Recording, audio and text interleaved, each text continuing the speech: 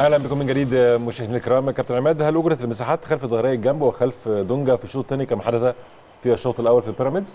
لا ويمكن دي النقطة اللي اتكلم فيها كابتن فاروق اللي اتكلم فيها كابتن محمد عمر إن الخبرة الخبرات موجودة في بيراميدز أكتر بكتير جدا عن نادي الاتحاد. الشوط الأول إحنا اتكلمنا عن المساحات اللي كانت موجودة في بيراميدز يعني لو قدروا يجيبوا لي زي ما قلت لحضرتك الدقيقة 35 و50 ثانية هيبان لنا الفرق بين الشوط الأول والشوط الثاني. ما كانش موجود المساحات خالص. لعيب بيراميدز والمدير الفني اتعامل مع مع المباراة بشكل جيد.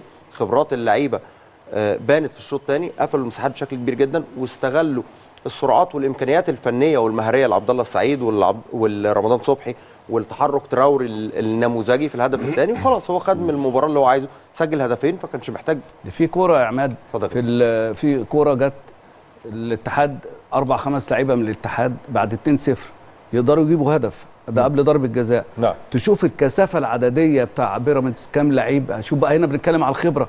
وبيضغطوا على لعيبة الاتحاد الكورة ما ما عرفتش تخرج من رجليهم إلا راحت راحة على الجنب صح. الشمال ما راحتش لشريف إكرام الضغط.